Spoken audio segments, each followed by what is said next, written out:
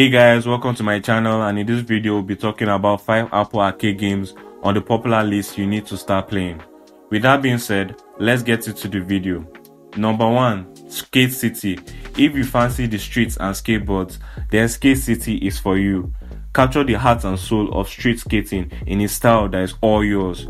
Push to improve your skills by mastering tons of trick combinations and don't forget to immerse yourself in the dynamic environment Skate City has to offer. Number 2. Rayman Mini. Rayman is a runner platforming game and it offers a fun fast-paced experience that allows players set their own pace. Players can go for a simple run or try the challenge of getting the perfect score. Number 3. Lego Brawls.